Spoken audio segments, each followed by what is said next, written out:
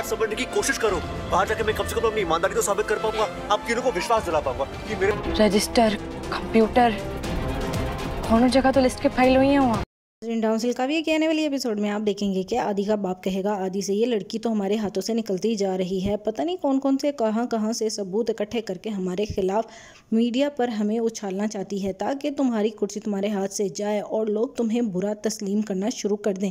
اس کے ساتھ ساتھ ہمارے پریوار کا بھی نام ڈوب جائے لیکن میں اس طرح سے کبھی نہیں ہونے دوں گا اس کا کوئی نہ کوئی تو بندوبست کرنا ہی ہوگا جس پر آدھی کہتا ہے کہ آپ کو تو بس وہی بری لگتی ہے لیکن اب اس کی باتوں سے مجھے بھی لگتا ہے کہ کوئی نہ کوئی تو ایسی بات ماضی میں گزری ہے جس کی وجہ سے وہ اتنے زیادہ ڈٹے ہوئے انداز میں ہمارے پریوار کو لے کر بات کر رہی ہے اور ثبوت سامنے لانا چاہتی ہے۔ اگر بات سچی ثابت ہو گئی تو میں بھی اسی کا ساتھ دوں گا کیونکہ میں اس کے خلاف بالکل نہیں جا سکتا۔ اگر آپ چاہتے ہیں کہ میں اس کے خلاف کوئی بات کروں تو پہلے میں اس بات کی تہ تک پہنچوں گا کہ واقعی وہ سچ بھی کہہ رہی ہے کہ نہیں کیوں کیونکہ مجھے معلوم ہے کہ وہ بے بنیاد ہو کر کوئی بھی بات نہیں کرتی اور ہر بات سچے انداز میں ہی کرتی ہے، جس پر آدھی کا باپ کہتا ہے کہ تمہیں ہرگز اس کا ساتھ نہیں دینا۔